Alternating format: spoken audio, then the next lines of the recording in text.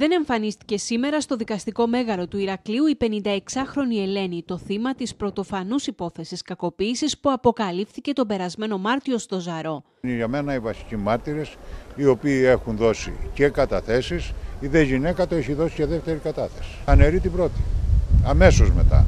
Λίγο μετά την προφυλάκηση του συζύγου βασανιστή της, είχε φύγει για τη Γερμανία όπου ζουν τα παιδιά της, ενώ με συμπληρωματική κατάθεση που είχε ζητήσει να δώσει, προσπάθησε να ελαφρύνει τη θέση του 62χρονου, ανακαλώντας κομμάτια της συγκλονιστικής κατάθεσής της στους αστυνομικούς του τμήματος Μυρών που την είχαν εντοπίσει μισοπεθαμένη και σε άκρο σοκαριστική κατάσταση. Και λέει ότι δεν έγιναν ακριβώς έτσι όπως θα την πρώτη φορά, διότι εκείνη την ώρα εγώ όταν ήρθαν και μου πήραν την κατάθεση, εγώ δεν ήμουν καλά, δεν ήξερα τι έλεγα και τώρα έρχομαι και σας λέω την αλήθεια. Η απουσία της ίδιας και του γιού της, ο οποίος ήταν εκείνος που κάλεσε την αστυνομία, δηλώνοντας σίγουρος ότι ο πατέρας του έχει σκοτώσει τη μητέρα του, καθώς είχε να δώσει σημεία ζωής πέντε ημέρες, οδήγησε στην αναβολή της δίκης, η εκδίκαση της οποίας θα επαναπροσδιοριστεί.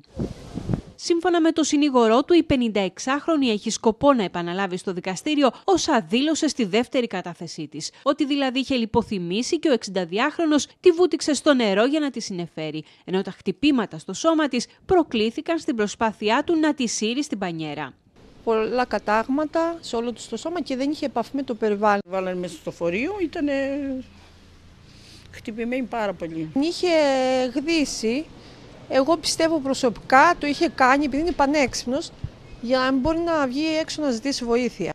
Η κόλαση που βίωνε δίπλα στο σύζυγό της ωστόσο αποτυπώθηκε με την πιο δραματική μορφή στην κατάθεση που είχε δώσει στους αστυνομικούς όσο και την ιατροδικαστική εξέταση. Με χτυπούσε ασταμάτητα από το Σάββατο το πρωί μέχρι τις 7.30 το πρωί της Κυριακής. Μου χτυπούσε το κεφάλι στον τοίχο. Με μια ζώνη με χτυπούσε στο μυρό ξανά και ξανά. Μου έριχνε μπουνιές στο πρόσωπο και τα μάτια μέχρι που μου έσπασε ένα δόντι. Σταμάτησε επειδή κουράστηκε και έπεσε να κοιμηθεί τα ξημερώματα. Αυτές ήταν οι πρώτες λέξεις της 56χρονης στο νοσοκομείο όταν τη συνάντησαν οι αστυνομικοί για να καταθέσει. Το είχε ξανακάνει το καλοκαίρι, αλλά εφώναζε η γυναίκα του βοήθεια, βοήθεια.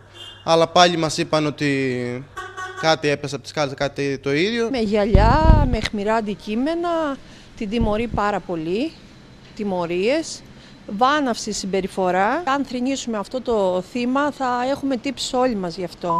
Βρωμοτουρκάλα, δεν θα γίνεις ποτέ άνθρωπος. Πήγα στο σιρτάρι και πήρα τα χάπια για να κοιμηθώ. Ήπια και τα 50 που είχε. Θέλω να σας πω ότι ευχήθηκα να μην ξυπνήσω πια. Δεν άντεχα. Την είδε στην κατάσταση στην οποία ήταν, εξάλλου περιγράφεται και αυτή και από αυτήν, στην κατάσταση που ήταν και έκανε προσπάθειες να την συνεφέρει αυτές τις οποίες έκανε δηλαδή, ότι την έβαλε, του είπανε να την βάλει στο νερό μέσα, τις έκανε μαλάξεις και τέτοια με τον τρόπο που ήξερε, όχι πως ήταν και έγινε ό,τι έγινε. Ο 62χρονος φέρεται να είχε προσπαθήσει ακόμη και να της προκαλέσει ασφυξία ανοίγοντας τη φιάλη. Μάλιστα κατά τη μεταφορά της στο κέντρο υγείας Μυρών, το σώμα της μύριζε υγραέριο σε σημείο που να προκληθεί αναστάτωση σε όλους τους χώρους του κέντρου υγείας.